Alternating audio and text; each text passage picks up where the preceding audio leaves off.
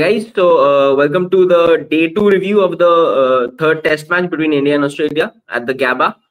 And day one was mostly washed out, but uh, so it was effectively the first day of the test match. But uh, so overall, Australia have had a pretty dominating day. I mean, uh, they more or less dominated every session of the this uh, like test match so far and uh, Steve Smith back in form, like back in form. We have to see the next innings, but like looks pretty decent right now. Got got his uh, 33rd Test century, and along with that, uh, Travis Head doing the usual business against India. I mean, uh, 152. Uh, it's pretty much similar to the Adelaide knock, pretty dominant, and uh, things not looking that well for India. so Australia currently are 400 plus for seven wickets down, and tomorrow morning, like India have to try to knock over the uh, tail as soon as possible and uh, grind it out basically because it's not all doom and gloom for India because there's some weather around as per the news in Gabba and uh, so if India can like bat properly tomorrow the whole day can grind it out and not have a, a mini collapse or something like that. So there are the chances of rain affected sessions on uh, like all the remaining days actually. So especially so on day 4 and day 5 so India need to use that to their advantage, like going into the MCG and SCG. And uh, hello. And uh, so overall, uh, I think this is uh, not been a very uh, uh, what will I say? Not it's it's been a very abject performance from Indian bowlers. Apart from Jasprit Bumrah, we are la really lacking imagination from the captain uh, regarding the field placements and everywhere he's very reactive. I mean lacks a lot of patience i feel for the red ball game. Uh, and uh, uh nothing really to add. Uh, it's it's a really sad day for like india today. Uh, so pranav so what are your overall thoughts on today's play so where do you think it all went wrong? I think if we take it session by session Mm-hmm. Um, the first session belonged to India, perhaps, because uh, before I dive in, it's good to be back. Thanks to Rishabh for staying right. in uh, while I was away. But yeah, so so the first session belonged to India. They picked up three wickets, um, had a very decent session. Three for 76 uh, in about 20, 22 overs is, is quite decent from there, I think India started missing the tricks. By I, I don't know why Rohit bowled Jadeja uh, to Travis Head and he was taken for cleaners. Still, he was persisting with Jadeja. I, I seriously don't understand the uh, tactics behind that uh, that thinking. Um, Akashdeep was fairly unlucky, I felt, because he he really bowled well. Uh, you know, uh, again, I think he was underbowled. Um, when the partnership was going, I thought he'd have bowled a couple of couple of overs. So the main problem that I see with with Rohit as a captain is that he sticks to just one plan for it to work, which is which is not ideal in overseas conditions. In India, it might work because you have uh, some legendary spinners in Ashwin and mm-hmm. Jadeja, but in overseas conditions, when you have a transitioning side, when you have somebody like Akashdeep as your third seamer, Nitish Kumar Reddy as your fourth seamer but potentially. You have to, you know, use them well so that they live up to the challenge. And I think uh, Rohit has has not done that well because if you look at Perth, uh, Bumrah was on cue with how uh, he was using the bowlers. He was just giving them uh, four, five, six over spells mm-hmm. and not over bowling himself and the other bowlers so that you know you you're not letting the batter settle against one sort of a bowler because I remember that uh, you know Jadeja and I think from the other end Siraj was bowling quite a bit. Then Siraj broke down. Akashdeep was bowling quite a bit. One end Jadeja was keeping on and on and on. I don't I don't understand that tactic at all. Uh, but yeah, I think after that wicketless session for 100 100 odd runs, Bumrah just came out of nowhere with the new ball to pick up three wickets uh, he's just an absolute beast. I mean, it's it's just Bumrah and others. There's there's a difference between ground and and earth. Uh, sorry, ground and sky uh, when when it comes to Bumrah and the other bowlers, and that's that's quite expected as well because um, you know you you can't always rely on somebody like Bumrah to pick up wickets because you need to uh, mm-hmm. you need to make sure that his workload is ideal. We'll also take a look at his numbers this series. Um, look at those numbers 79 overs 17 right. wickets at an average of 12.8 it's just the third test i mean striking at once in every 28 balls that's like what six four once in every four and a half overs that's yeah. i mean amazing i think first test as a captain you just thrash australia by 295 runs still I mean, the next best wicket taker is is is Mitchell Starc. I mean, that's that's the difference, right? Because after that comes you know Mohammad Siraj and Josh Hazlewood and mm-hmm. others. But that's that's the sort of class that uh, Bumrah has shown in this tour of Australia because I think he's grown into a fabulous bowler. Uh, red ball cricket, especially he. I was I was reading uh, R. book uh, the other day, where in the last Border Gavaskar Trophy, he had a situation where, or, or not the last one, I think the previous one, uh, where they had a situation where it was it was about to go for a draw, um, and he, he was having a chat with Bharat Arun saying, Aji, let's let's let me bowl slow. I mean, I'll just take out the overs short, and then when uh, Bharat Arun told him that you know there could be a psychological effect of of doing that because then the next time when the batters face you they'll say oh i've played him out well. I have the confidence of doing well. And he took it personally and bowled an absolute peach of spell. So that's how he's grown as a bowler. I'm, I'm just citing an example just because I. I remembered that example. And to pick up 17 wickets i mean 17 wickets is, is quite a lot because in the first test itself, it's because of him that we won that uh, game by such a big margin. Obviously, credit to KL Rahul and Yashasvi Jaiswal. But yeah, I mean, incredible numbers. I can just keep on going about him, but it's just about the others stepping up. And I think India have their task cut out tomorrow. Just get Australia under 420, 430, and then just just bat. Just hope that that it rains enough hmm. and and maybe it ends in a draw even if it doesn't i mean tomorrow is day three so you you bat about six six and a half sessions at about four four runs and over then you i mean I, i'm not expecting india to get close to 420 anyways because then you you're thinking about a lead. Definitely not. Then get to 350 360 probably there's a way back to the bowlers, and then you're chasing a modest total of 120, 130 on day five. Something of that sort, if it's possible, then who knows? I mean, just giving a hindsight situation, but yeah, it, it was it was an average day for India. But if not for that Bumrah burst, India would have been in a very bad position by the end of the day. So I think it's in Australia's favor at the moment at 60 40, but India is not far too behind it. It all depends on what happens in the morning session tomorrow.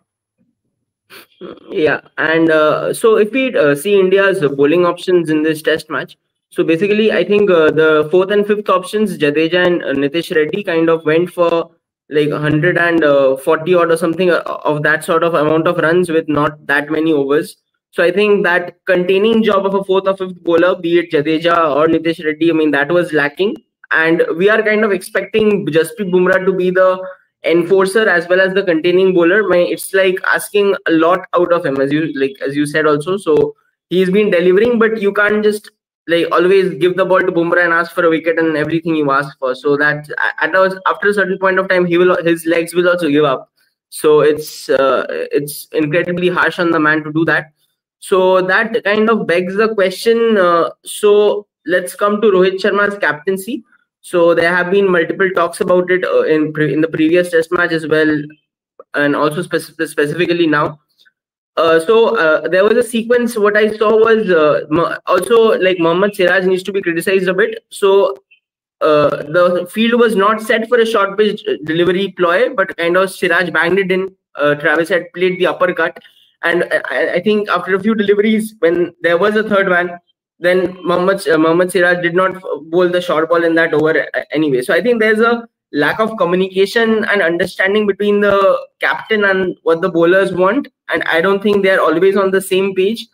And uh, it's it's almost like Rohit Sharma is so reactive. Like when a like when Travis Head plays the uppercut, it goes to four. He puts the fielder there. Like he kind of chases the ball all the time. So uh, and uh, it's uh, turning out to be a very uh, what do I say? Pretty uh, ordinary like uh, test legacy for Rohit Sharma as a skipper, and also now his uh, test batting is under the scanner. And I think this test match, like this innings, is perhaps the most crucial for Rohit Sharma, the batter as well, because um, I mean the it's uh, everybody is up and about. It's I think it's high time Rohit Sharma pr- proves his uh, uh, every everyone wrong and gets us a decent score.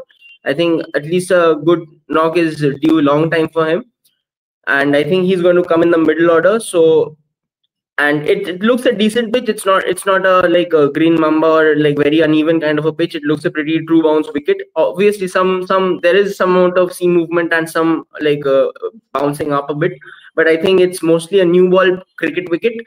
And uh, as we saw today, one if if India can somehow like survive the 30 35 overs, then I think they should be able feel more comfortable like uh, uh, for the rest of the overs so overall, so if we look at the Rohit Sharma and the batting to come tomorrow from India's perspective, like what are your thoughts on him? So what if Rohit Sharma fails uh, in the Gabba test? Do you you feel India should take a drastic step in the at the MCG, or do you like give him the entire test uh, test series as a like captain skipper? Because uh, we have to remember India is coming back of a 3-0 home uh, like defeat to New Zealand as well. It's not just a single event which is happening and also the batting. I mean, there is some depth here, like Jadeja and Nitish Reddy at, at the low, lower order. So there is some depth. It's not all doom and gloom in the batting. So let's. I think a lot of answers uh, are going to be answered tomorrow. I think tomorrow is a very very crucial day from Indian cricket's perspective, not only from the series perspective. So your take on this? Yeah, go on. I think um, Rohit as a captain in Test cricket is is quite defensive. I mean, there's there are no two ways about it because uh, it's it's because the previous captain was so aggressive that we are looking at at it this way. But i think if you if you take a look at instances where we are put under the pump uh, let's take the home series or the away series or the wtc final it's not been very uh, you know proactive captaincy from rohit. And and i agree with you that it's it's sort of coming uh, as as a defensive option as a non-sync between the bowlers and and the captain but mm-hmm. primarily i feel there's no um, need of changing anything at the moment because uh, you know mid series if you change something then it affects the confidence of the mm-hmm. batter and and i'm primarily focused on rohit the batter than rohit um, you know the captain obviously captain matters i'm not saying he mm-hmm. doesn't matter but uh, what i'm trying to point out here is that you know assuming that we lose or at best draw this test or even go on to win this whatever the result uh, we are looking at at what the results are. We are not just look you know we need to look at how the team is shaping up at the moment. Because the problem is that the previous regime had a lot of focus on the on the limited overs cricket. And post Ishant and Umesh Yadav, we have not been able to groom enough pacers. Uh, just so that, I mean, if you go back to the Virat Shastri era, you had someone like Rahul Dravid in the NCA pumping up players because there was a sync between the senior management and the NCA. So, so as to ensure your cricket grows enough, because um, you know, obviously you you had that that the other arm of, of IPL where you, know, you identify talents, but obviously red ball game is, is very different to what T20 cricket is. Right. But then now with, with the IPL having a huge impact in terms of batting, sort of I feel that the talent of red ball cricket is diminishing, and that's where I feel that Ranji cricket standards have to go up because you know in IPL, you're scoring 200, 250 runs for fun. I think my own team, Sunrisers Hyderabad, chased 160 in 10 overs. Uh, that's where the standards are at the moment in terms of batting, and and that's what the crowd likes. So I'm not blaming anyone at all in this case. But when it comes to red ball cricket, and India is primarily focused on red ball cricket, they know how to come back from difficult situations. You have to have enough backup talent uh, to support the current squad that's there because uh, there are a couple of problems that I see. One is that nobody is given a very long run in this setup. Uh, one great example is KL Rahul because he was earlier opening uh, he mm-hmm. was dropped based on form, then came back on middle order. Then again he was dropped based on form. Then now he's a, he's a makeshift opener. Then now Rohit shifts down for him so that the opening pair can sustain itself. Although I am I am an advocate for the opening pair that works, just stick with that. Um, but my problem is the lack of consistency in the in the middle order because because of our batting, uh, the bowling looks quite astonishing, if, if I can put it that way. Because uh, if if you look at what happened in the previous test, it's because our batting did not perform. We had to drop Ashwin and Nitish, hmm. uh, sorry, Harshit Rana from this hmm. test, which is not at all ideal. Because if you look at the collective uh, result of the test, it's because of our batting that didn't turn up. So potentially you could drop a batter, and who is that batter?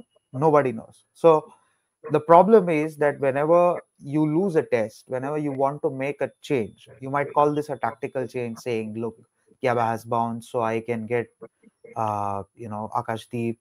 Uh, i wanted some batting so we got jadeja. But that's the problem right? You don't have consistency. You don't have enough consistency in saying look ashwin i will give you five tests irrespective of what the results are or washington sundar for that matter because you played him in the first test for his batting.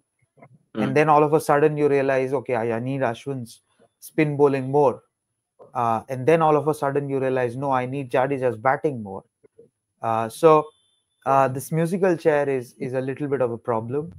Um, and again rohit not scoring runs is not helping at all. So that's the problem right? Your batters fail. The eventual reaction is on the bowlers there is no consistency in the bowling unit. So if you look at the previous Border Gavaskar Trophy, which we won 2-1 miraculously, I, will I'll still call it a miracle because that that happened once in a decade. Uh, you had the similar sort of bowling unit for at least four tests, or rather the three tests, because once Shami went out, you had Umesh Yadav. I think Mohammad Siraj made his debut, uh, mm-hmm. and in Melbourne, from from Adelaide. He's a similar kind of bowler, not exactly to Shami, but he was young enough. He had played a lot of India A games to come into the setup. Now, if you look at uh, you know the current bowling lineup, Harshit Rana has not played enough A games. Uh, you know, he was in fact not sent to the A tour in Australia for some bizarre reasons. I don't know why. Prasidh Krishna has played India A games, but he's coming off an injury. Siraj's form has been a concern. But so if Akashdeep has been doing well in Indian conditions and he bowls exceptionally well to the left-handers to his credit. So there are certain problems and of course the batting unit there are a few elephants in the room that we don't need to name obviously kohli got a century in the second innings of the first test so yeah you he looked in decent touch in in both the innings in the pink ball test although i couldn't watch the entire test because of uh, the vacation. So rohit I, did, I don't know what's wrong with him but yeah it's it's the sort of lunging out that happens with with the with the ball. But yeah that's that's pink ball so you can just excuse him because he's just now down to red ball where gabba should help him. So there are strings of problems and I think that's where we need to be a little patient as fans, where this transitioning side will take some time to adapt. And probably by the England tour, again, the problem is that IPL starts March 15th, ends May, May 15th. Uh, the test series starts July uh, or June end, I think, after the WTC final. So, do you have enough time to go and play some county games? Do you have enough time to go and play some uh, you know England warm-up games or whatever. So that sort of thinking is missing. That's that's what I I have a problem with.